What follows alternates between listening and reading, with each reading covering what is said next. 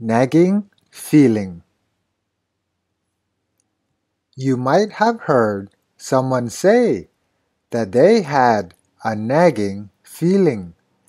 The feeling that there was something they forgot, or perhaps that something bad was going to happen.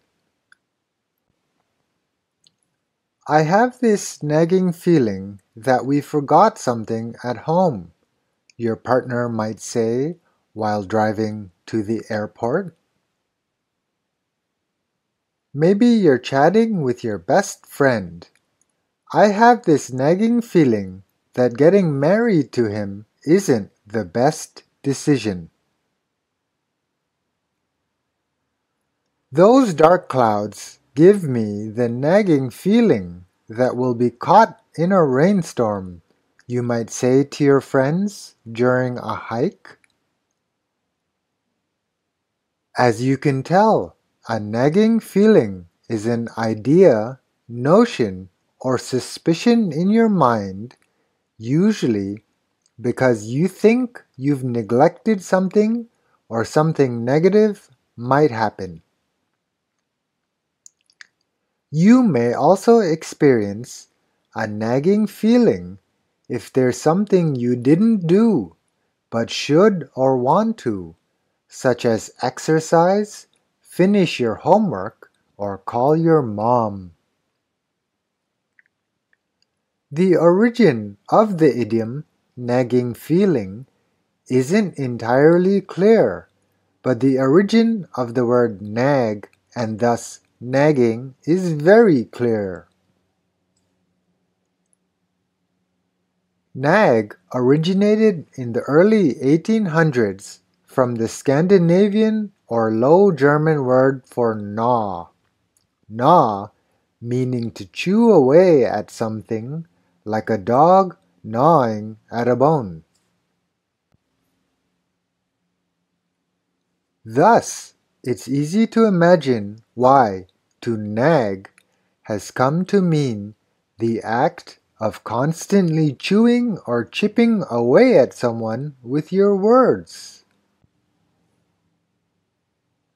If you nag someone, you are repeatedly asking someone to do something, which they do not do, so you continue your nagging, leading both people to be annoyed.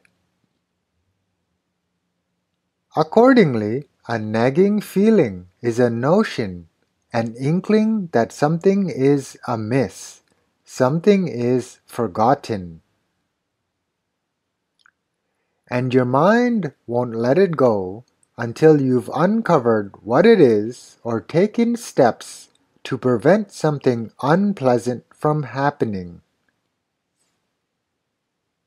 Then again, there are people with certain personality types that never experience a nagging feeling. These are the type of people who can drop their passports on the floor at the airport and not realize it until a stranger picks it up and returns it to them. These are the type of people who can enjoy junk food and not worry about the health consequences or feel bad about it the next day. You may not want to be one of these people, but you probably don't want to be the opposite either. The type of person who constantly experiences multiple nagging feelings and always worries about things, large and small.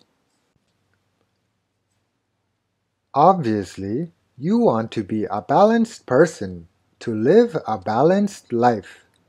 Equilibrium is what nature tends to, and we should strive for it too.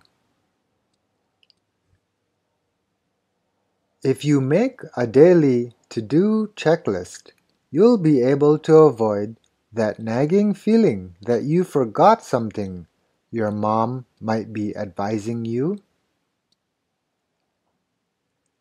Your dad might be talking to you about your new car. I have a nagging feeling that something is wrong with it. Why was it so cheap? I have a nagging feeling that something bad is about to happen, you might say to your friends after sneaking onto the roof of a building. So, if you are ever bothered by the idea, the thought that you may have forgotten something, or the feeling, the suspicion that something dreadful is going to happen, don't ignore that nagging feeling.